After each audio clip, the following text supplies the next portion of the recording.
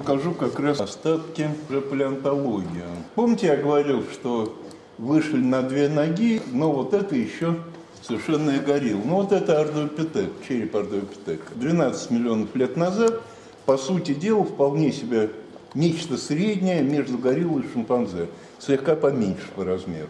Так? Черепа исключительно похожи, вид спереди. А вот это уже другое дело.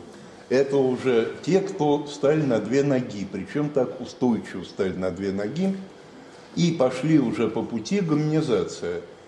Кроме всего прочего, обратите внимание, вот латинское название Homo habilis. Значит, Homo – это какой род? А это человек.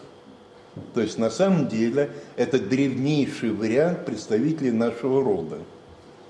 Homo habilis – человек умелый. Да? Существовали они в Восточной Африке порядка трех миллионов лет назад возникновения и порядка двух миллионов лет назад уже, собственно, расцвет этой публики. Ну вот разные проекты череп того же самого. Так? А вот это, обратите внимание, существенно более выпуклая мозговая коробка и намного более крупная в сторону затылка оттянутая. Так? Это уже не хабелес, это уже совершенно следующий путь, сейчас покажу вам. Вот это ребята, существовавшие параллельно с хабельсами, и до сих пор не очень понятно, то ли они совсем не участвовали в происхождении человека, то ли это какие-то вот такие боковые ветки, попытки – то ли хабелесы не больше, не меньше, чем один из видов среди вот этой компании. Это австралопитеки, южная обезьяна. Вот это массивный австралопитек. Самцы до 70 килограмма массы, рост до метра пятидесяти, метра пятидесяти пяти, мускулатура достаточно массивная. Вот это так называемый грацильный а, австралопитек. Значит, даже самцы не больше 45 килограмм, рост порядка метр двадцати пяти, метр тридцати, то есть более мелкие. Как это ни странно, именно на состоянками с остатками грацильных связано э, нахождение обработанных предметов. Так что скорее более широко орудиями пользовались вот эти. Теперь, а вот это вообще самый первый череп австралопитек, который был найден в далеком 1920 году. Найден он был в Южном Африке под Кейптауном. Это череп десятилетнего подростка. Все известнейшие черепа, все известнейшие находки в антропологии имеют именное название. Вот этот называется просто бэби. Если вы профессиональному антропологу говорите про какие-то особенности, найденные у бэби, он совершенно точно будет знать, о ком идет речь. Очень полная сохранность черепа, но только часть крыши немножко пострадала. И исключительно редкий случай. Раймонд Дарт, который работал с этой находкой, умудрился, работая три года припроваленной иглой под микроскопом, аккуратнейшим образом разрушить минеральные слои, которые образовались между верхней и нижней челюстью, и открыть бэби-рот посмотреть, какие у него жевательные поверхности. Это исключительно редко удается. Дело в том, что челюстная система человека и остальных э, приматов отличается очень здорово. Вот обратите внимание, это все три челюсти существ одинаковой массы, 70 килограмм. Так? Значит, вот это обезьяна, пангида, вот это австралопитек, а вот это мы с вами, Homo sapiens sapiens. В чем дело? А дело в том, что в ходе нашей эволюции что с длиной челюсти происходит? Причем она многократно уменьшается. В следующий раз поймете. Поймете, допустим, как проклятие всех юношей и девушек, проклятие это называется зубы мудрости. Когда они у вас начнут резаться, вы поймете, почему это проклятие. Оказывается, это такой привет – нам с вами из плевоплестоцена. Как раз одна из форм расплаты за нашу двуногость. Дело в том, что как только мы выпрямились, стало совершенно необходимо менять конфигурацию черепа. В частности, укоротить нижнюю челюсть. В результате количество зубов у нас осталось то же самое, А что с длиной зубного ряда? Да он в два раза уменьшился. И последнему маляру просто не хватает места на челюсти. Поэтому он и режется, бог знает когда, и чаще всего уже дефектный. Так, ну а вот это из недавних открытий, пожалуй, самое интересное. На территории Грузии, в пещере Дманиси, было найдено, ну сначала останки одного существа, а потом второго, вот на настоящий момент пятеро известно. Удивительно вот что. Удивительно, где Африка, а где Грузия. Так? А это одни из самых древних находок, которые известны вне пределов африканского континента. То есть на самом деле при первоначальном расселении из Африки предки человека прошли Тавр, антитаврским коридором и Кавказским коридором и выходили не только в Азию, став предками пятикантропов, но и, э, соответственно, в наше Закавказье современное. Вторая вещь важнейшая. Эти черепа очень разные. Вот такого везения редко бывает.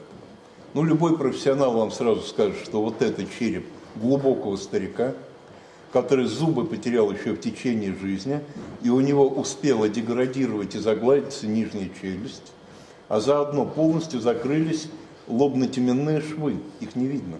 Вот этот череп, грубо говоря, мужчины в расцвете сил, вот это, соответственно, барышня и подросток черепа. То есть прям такое ощущение, что закладывали специально по э, заявке ученых. Полувозрастное различие все на месте. Ну и вот, вот эта реконструкция внешности мужичка из Дманиси. Так. Вот такой интеллектуал. На, надо сказать, что соотношение размеров лицевого черепа и мозгового у него самое плохое. Самое хорошее соотношение, самый крупный объем головного мозга у самочки, оказывается. Ну вот немножечко о тех существах, о которых, собственно, у нас шла речь. Да? Ну, вот это реконструкция классического африканского, Астралопитекус африканус. Вот такие ребята были. Вы учтите, что ведь это не просто так художник что-то наляпал. По э, черепам профессионал может внешность восстанавливать с очень высокой достоверностью. А вот это знаменитые остатки, вы про них наверняка слышали. Вы такое название пятикантроп слышали? Да. Ага. Вот, собственно, раньше пятикантропами называли целый, там, я не знаю, временной отрезок в развитии человечества. Сначала обезьяна, потом пятикантропы, потом люди. Сейчас совершенно очевидно, что э, никаких обезьян людей природе не было. Поэтому название пятикантроп осталось только вот за этими вполне конкретными остатками. Крыша мозговой части черепа и бедренная кость со следами патологического процесса артритного типа. Остатки эти были обнаружены доктором Евгением Дюбуа на острове Ява в самом конце XIX века. И остатки эти вызвали э, совершенно фантастическую дискуссию в научном мире. В чем дело? А дело в том, что черепная крышка совершенно обезьяньего типа, а вот бедренная кость совершенно человеческая. Получилось, что это существо сочетало признаки обезьяны и признаки человека. Бодаюсь исключительно долго. Вот людей, не согласных с э, объяснением Дюба, первое время было, пожалуй, даже больше. Причем нельзя сказать, что это были какие-то неграмотные люди. Возглавлял их ни много ни мало Рудольф Вирхов, один из самых авторитетных в то время сравнительных анатомов. Да? Кроме всего прочего, именно ему принадлежит открытие третьего положения клеточной теории Вирхова. Так вот, Вирхов считал, что черепная крыша э, от ископаемого гиббона, а бедренная кость от вполне себе современного человека, который жил в Средневековье. А они просто случайно оказались в одном месте, поэтому никакое, это не, никакое не доказательство существования каких-то там древних предлюдей. Как иногда бывает в науке, история Дюбуа печально закончилась. Дело в том, что в конечном итоге его убедили, что он ошибся. Он запер подлинные останки Пятикантропа в свой фамильный э, сейф в одном из банков и ушел от обсуждения, и умирает он, в общем, с ощущением проиграться. И зря он отказался последние 5-7 лет своей жизни от того, чтобы отслеживать мейнстрим, потому что в это время по всему миру пошли аналогичные находки. Экспедиция Блейка в 40 километрах от Пекина в пещере Джоукову находят уже не единичную находку, а там пошли серийные находки. Всего известно шесть остатков существ, обитавших в нижних горизонтах Джоукова день, они названы синантроп, синантроп пекиненсис. Существовали несколько позже по времени, чем пятикантропы иванские. Примерно тогда же получает известность найденная в Южной Германии, э, в одном из карьеров Южной Германии, недалеко от города Гейдельберга, нижняя челюсть. Нижняя челюсть, которая, очевидно, не обезьянья, но на современную нижнюю челюсть ну, никак не тянет. Значит, эта находка получил название Гейдельбергский человек и так далее, и так далее. Самая трогательная, пожалуй, э, история с находкой из долины Неандерталь во Франции. Там еще в конце XIX века был найден череп, череп такой странненький, что а это какой-то провинциальный речь, что местные э, натуралисты, которые коллекцию сформировали, повертели, повертели в руках этот череп и решили, что это череп калмыцкого казака, который вместе с войском атамана Платова в 1812 году пришел в Париж на наполеоновских лыжах. И, собственно, в коллекциях музея этот череп так и проходил с этикеткой под документом «Калмыцкий череп». Так?